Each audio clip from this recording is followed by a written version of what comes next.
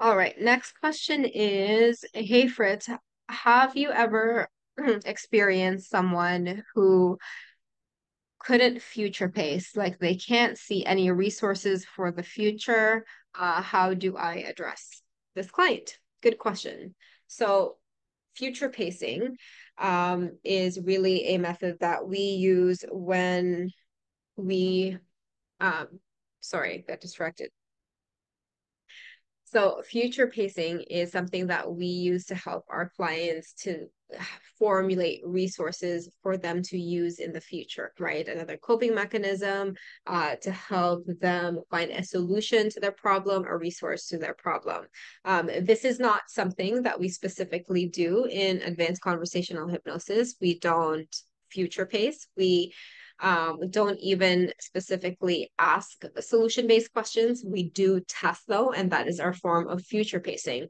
But what happens if neither a future pacing or a um, or our testing is revealing that it hasn't worked, like they still are into the problem. So what we would do, or what why that happens first off, is there that there are still a lot of knots in our client's mind, and we really just haven't explored the actual root of the problem to begin with.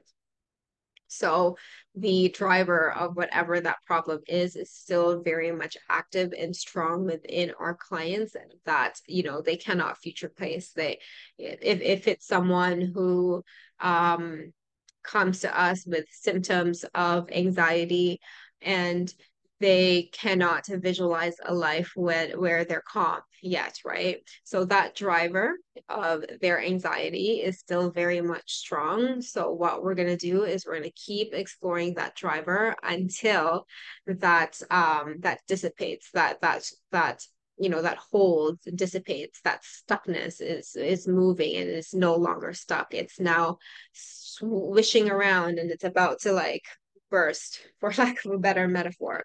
So really one of the best things like if i'm finding that you know testing is still revealing a lot of knots and they haven't really had that internal shift i would just keep going keep going with my questioning keep going on um looking for so the their unconscious expressions and making sure that I use their unconscious expressions um, through questioning, and I would just keep on hammering and picking at um, at that problem until until we get there.